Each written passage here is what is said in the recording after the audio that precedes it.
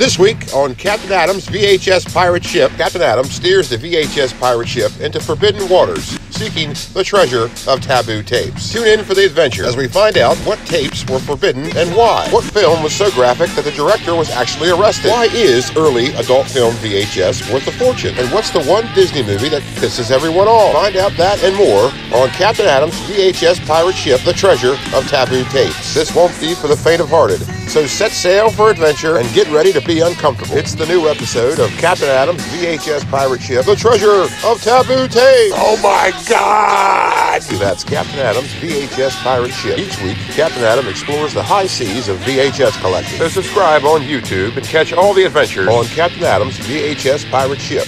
Don't be a rube. Subscribe on YouTube.